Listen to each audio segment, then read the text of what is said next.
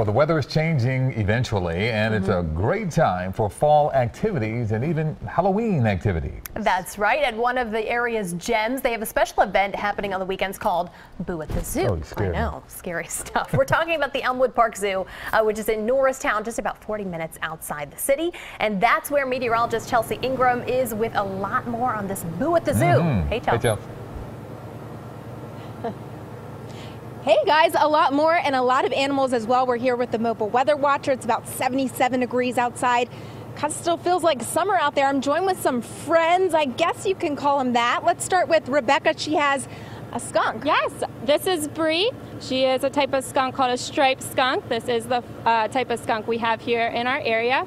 They come out, uh, out at, late at night and they eat lots of different things from fruits and vegetables to meat, so they're great to have in your backyard. But Bree does not spray. That's what I was told, so good news there. Now let's talk about the snake. I'm a little nervous to be standing beside you right now. This is Ashley. Not a problem. This is Ozzy. She's a black rat snake, very common snake in this area. She is going to be representing our creepy crawlies here for a Halloween holiday, but don't worry, she's a very calm snake, so she's not going to want to harm humans at all, but she'll stay right here in my arms. Right, a very calm snake, right? Okay, and then we also have a vulture. I'm totally comfortable out here right now. So tell me about the vulture. All right, um, this is Hoover.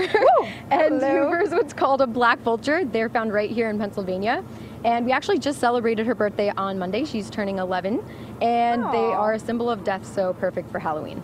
All right, and you can see all of these animals, of course, at Boo at the Zoo, and that all starts this weekend. So I'm joined here by Julia. She's the special events manager. Can you tell us a little bit more about the event starting this weekend? Sure. Boo at the Zoo is every weekend. It's sponsored by Einstein Medical Center in Montgomery, and we have it all four weekends here. We have about eight candy stations set up, so come on, bring the kids out. They can dress up. Um, they have, can go trick or treating. We also have an allergy free station for kids who can't enjoy candy. Um, lots of photo ops and just fun all around. All perfect. And it goes all the way through every weekend, all the way through yes. October, right? So it's going to be lots of fun. And this weekend, as far as the forecast, well, it's looking pretty good, at least for Saturday. And it's going to be feeling like summer out there, guys. So wear your costume. It is going to be a little bit on the hot side of things, 84 degrees on Sunday.